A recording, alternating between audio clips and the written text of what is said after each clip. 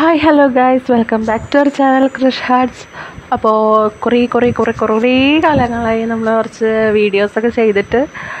ഇന്ന് നമ്മൾ കാലിക്കറ്റ് യൂണിവേഴ്സിറ്റിയുടെ നിങ്ങളെ തമ്മിയിൽ കണ്ട പോലെ തന്നെ കാലിക്കറ്റ് യൂണിവേഴ്സിറ്റിയുടെ കോംപ്ലിമെന്ററി സുവോളജി നമ്മൾ ബാക്കി പോർഷൻസ് തേർഡ് സെമ്മിലെ ഓക്കെ തേർഡ് സെമ്മിലെ ബാക്കി പോർഷൻസ് കവർ ചെയ്യാൻ വേണ്ടിയിട്ട് പോവുകയാണ് ഇന്ന് മുതൽ നമുക്ക് ഡെയിലി ഡെയിലി അല്ലെങ്കിലും എന്താ പറയുക ആൾട്ടർനേറ്റ് ഡേയ്സിലെങ്കിലും നമ്മൾ വീഡിയോസ് അപ്ലോഡ് ചെയ്യാൻ ശ്രമിക്കുന്നതായിരിക്കും. ഓക്കെ അപ്പോൾ നമുക്ക് നേരിട്ട് വീഡിയോയിലോട്ട് പോവാം. അധികം ലേറ്റ് ആക്കുന്നില്ല.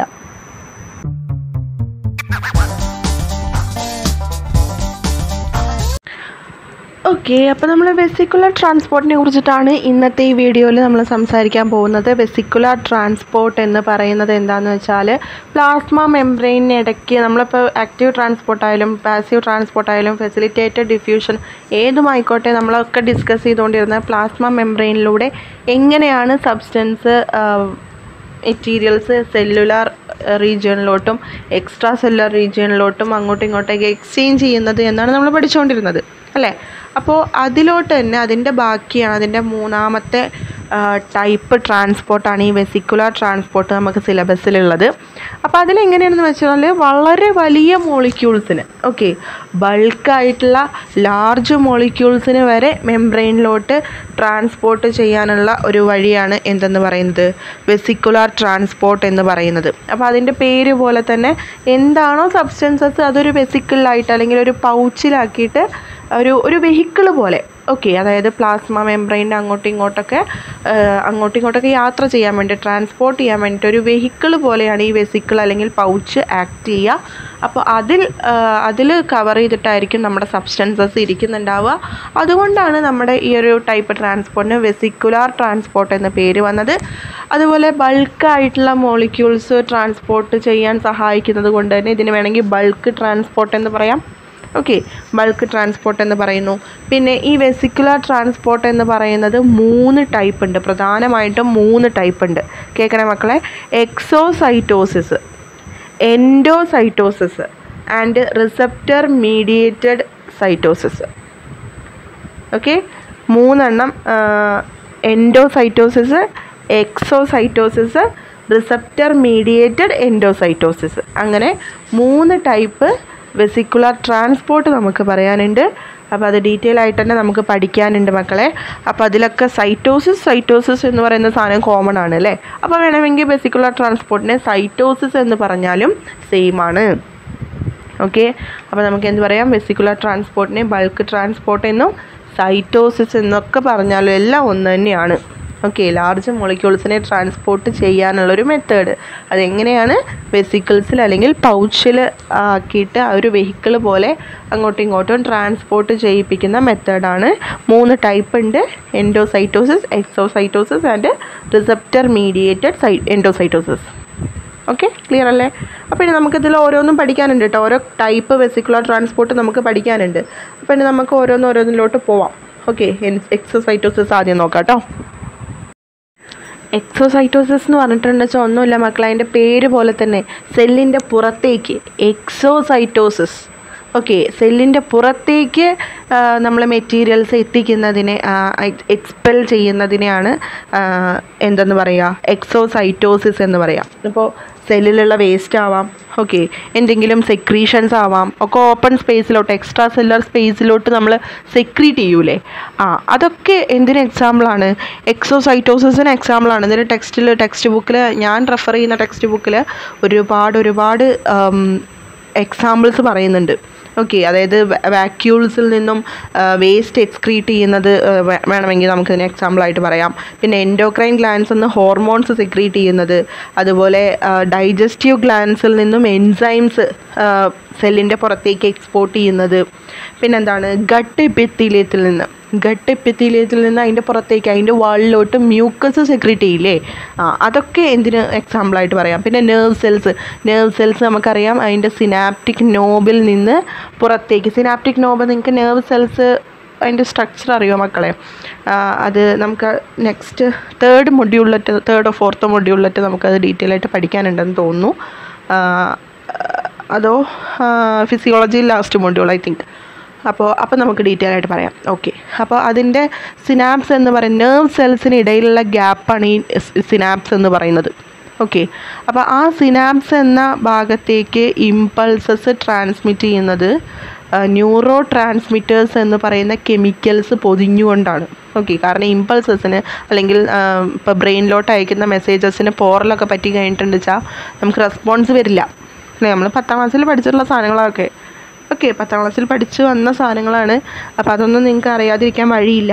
അപ്പോൾ ആ ന്യൂറോ ട്രാൻസ്മിറ്റേഴ്സിന്റെ എക്സ്ക്രീഷൻ അല്ലെങ്കിൽ എക്സ്പൾഷൻ അതൊക്കെ നമുക്ക് ഈ എക്സോസൈറ്റോസിന് എക്സാമ്പിൾ പറയാം.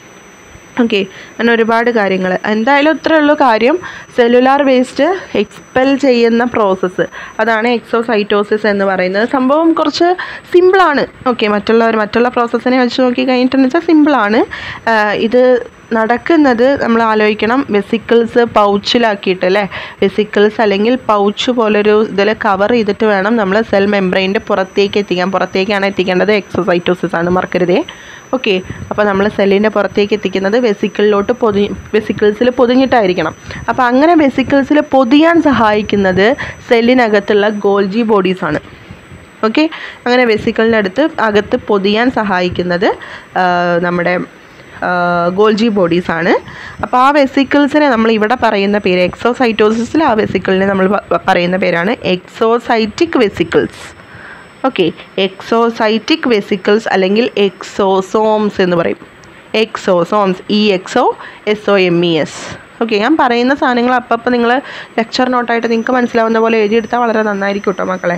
ഓക്കെ അപ്പോൾ എക്സോസൈറ്റോ സൈറ്റിക് വെസിക്കിൾസ് അല്ലെങ്കിൽ എക്സോസോംസ് എന്ന് പറയുന്ന വെസിക്കിൾസിൽ കവർ ചെയ്തിട്ടാണ് സബ്സ്റ്റൻസസ് വെളിയിലോട്ട് പുറത്തുവിടുക ഓക്കെ എന്നിട്ട് അത് എന്ത് ചെയ്യും? സാധാരണ പോലെ അതായത് സെൽ മെംബ്രെയിനിൽ പോയിട്ട് അറ്റാച്ച് ചെയ്യും. ചെറിയ ചെറിയ പോഴ്സ് ഉണ്ടാക്കും. എന്നിട്ട് അത് എലിമിനേറ്റ് ചെയ്യും. തിരിച്ച് ആ വെസിക്കിൾസ് നമ്മുടെ സെല്ലിൽ തൊട്ടന്നെ വരും.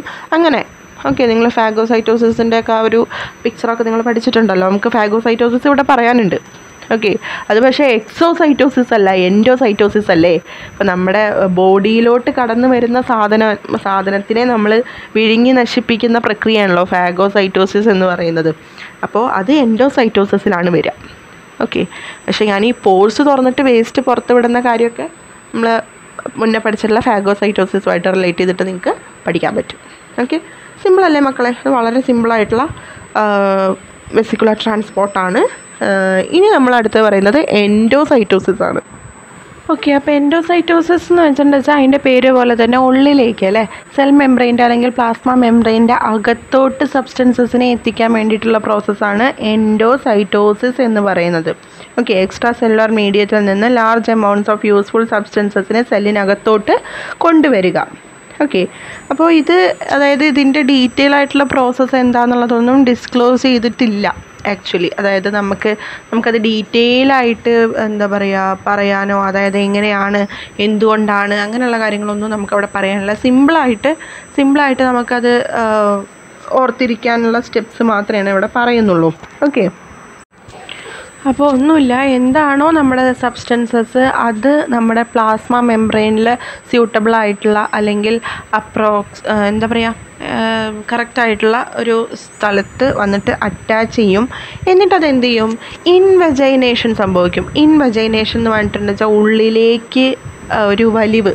ഓക്കെ അപ്പോൾ നിങ്ങൾ പിക്ചറിൽ കാണുന്ന പോലെ ഞാനിവിടെ മാർക്ക് ചെയ്തിട്ടുള്ള പോലെ ഉള്ളിലേക്ക് ഒരു എന്താ പറയുക ഒരു കുഴി പോലെ ഒരു ഉള്ളിലേക്ക് ഒരു കുഴി പോലെ ഉണ്ടാക്കിയെടുക്കും. അതാണ് ഇൻവജൈനേഷൻ എന്ന് പറയുന്നത്. ഓക്കെ എന്നിട്ട് ഒരു കുഞ്ഞു പോക്കറ്റ് ഇപ്പോൾ ചിത്രത്തിൽ കാണുന്ന പോലെ തന്നെ ഒരു കുഞ്ഞു പോക്കറ്റ് ഫോമിൽ അതങ്ങനെ ഇരിക്കും.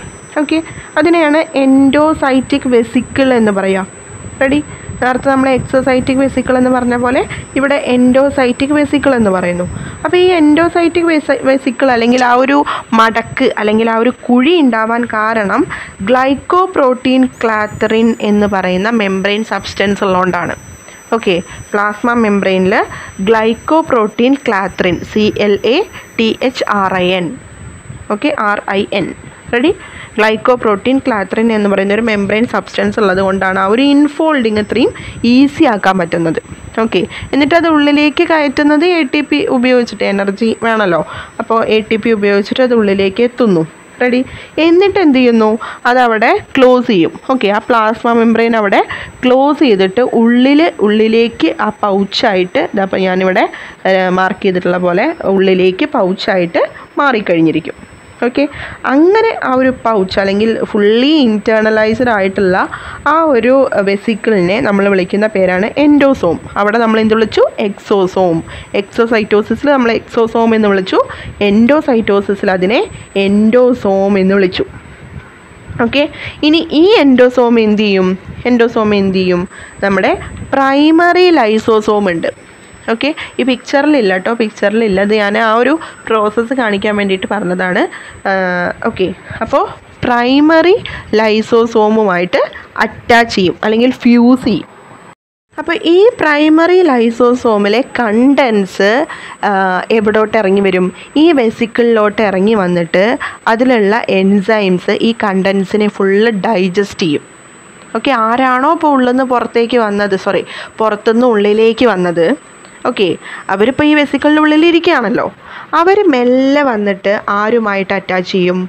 നമ്മുടെ പ്രൈമറി ലൈസോസോമുമായിട്ട് ഫ്യൂസ് ചെയ്യും. ഓക്കെ ഫ്യൂസ് ചെയ്ത് കഴിഞ്ഞിട്ട് എന്താ വെച്ചാൽ ഈ പ്രൈമറി ലൈസോസോമിനകത്തുള്ള എൻസൈംസും അതുപോലെ വെസിക്കിളിനകത്തുള്ള പുറത്തുനിന്ന് വന്നിട്ടുള്ള സബ്സ്റ്റൻസസും എല്ലാവരും ഒരുമിച്ചായില്ലേ? അപ്പോൾ ആ ഒരുമിച്ചായ ആളുകൾ എന്ത് ചെയ്യും? ആ ലൈസോസോമൽ എൻസൈംസ് എന്ത് ചെയ്യും? മറ്റേ ആൾക്കാരെ പുറത്തുനിന്ന് വന്ന ആൾക്കാരെ ഡൈജസ്റ്റ് ചെയ്യും. ഓക്കെ അങ്ങനെ ഡൈജസ്റ്റ് ചെയ്യും. അപ്പോൾ ഇതിനെയാണ് എൻഡോസൈറ്റോസിസ് അല്ല അതായത് ഡൈജസ്റ്റ് ചെയ്യാന്ന് പറഞ്ഞിട്ടുണ്ടെങ്കിൽ അതിനെ നശിപ്പിച്ചു അല്ലെങ്കിൽ തിന്നു എന്നല്ല പറയുന്നത്. അതിനെ യൂട്ടിലൈസ് ചെയ്യുക അതിൽ ആവശ്യമുള്ള സാധനങ്ങൾ എന്താണോ അത് സ്റ്റോർ ചെയ്യാൻ വേണ്ടിയിട്ട് അതിനെ യൂട്ടിലൈസ് ചെയ്തു എന്നാണ് അവിടെ പറയുന്നത്. ഓക്കെ ആണോ? അപ്പോൾ ഇതാണ് എൻഡോസൈറ്റോസിസിൽ നടക്കുന്നത്. എൻഡോസൈറ്റോസിസ് നമുക്ക് അതായത് ഇപ്പോൾ വെസിക്കുലർ ട്രാൻസ്പോർട്ട് മൂന്ന് ടൈപ്പ് ഉണ്ട്. അതിൽ രണ്ടാമത്തെ ടൈപ്പാണ് ഇപ്പോൾ എൻഡോസൈറ്റോസിസ് എൻഡോസൈറ്റോസിസ് വീണ്ടും മൂന്ന് ടൈപ്പ് ഉണ്ട്. ഓക്കെ എൻഡോസൈറ്റോസിസ് വീണ്ടും മൂന്ന് ടൈപ്പ് ഉണ്ട്.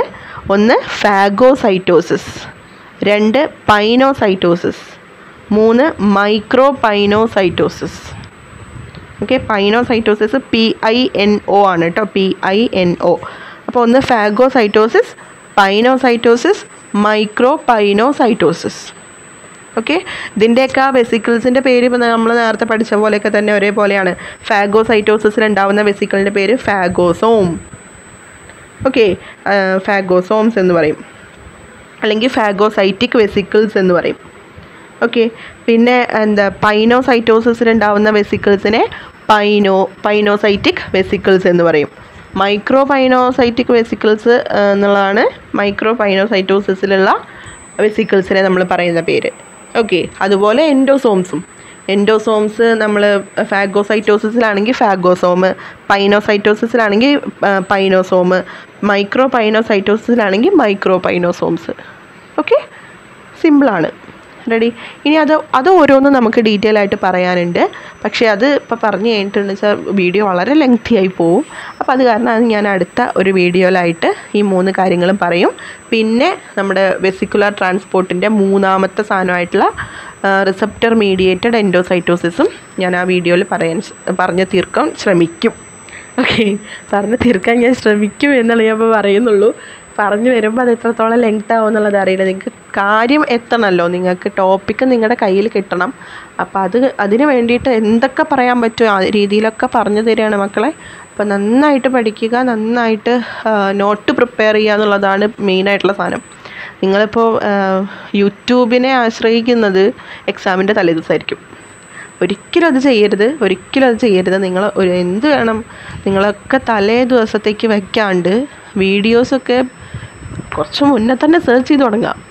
ഓക്കെ വീഡിയോസൊക്കെ കുറച്ച് മുന്നേ തന്നെ സെർച്ച് ചെയ്ത് തുടങ്ങാം. നോട്ടൊക്കെ പ്രിപ്പയർ ചെയ്ത് വെക്കുക എന്നുള്ളതാണ് മെയിനായിട്ട് നിങ്ങൾ ചെയ്യേണ്ട കാര്യം. റെഡി നിങ്ങൾ ഇപ്പോൾ തുടങ്ങിയാലും തേർഡ് സെം എക്സാംസ് നിങ്ങൾക്ക് കവറപ്പ് ചെയ്യാൻ പറ്റും. റെഡി ഓക്കെ അപ്പോൾ അങ്ങനെയാണെങ്കിൽ നമുക്ക് അടുത്ത വീഡിയോയിലോട്ട് കാണാം. നിങ്ങൾക്ക് ഈ വീഡിയോ യൂസ്ഫുൾ ആയിട്ട് തോന്നിയിട്ടുണ്ടെങ്കിൽ ലൈക്ക് ചെയ്യുക ഷെയർ ചെയ്യുക കമന്റ് ചെയ്യുക. സബ്സ്ക്രൈബ് ചെയ്യാതെ ആരെങ്കിലും കാണുന്നുണ്ടെങ്കിൽ ഉറപ്പായിട്ടും സബ്സ്ക്രൈബ് ചെയ്ത് സപ്പോർട്ട് ചെയ്യുക മക്കളെ. അപ്പോൾ അങ്ങനെയാണെങ്കിൽ നമുക്ക് അടുത്ത വീഡിയോയിലോട്ട് കാണാം. Bye bye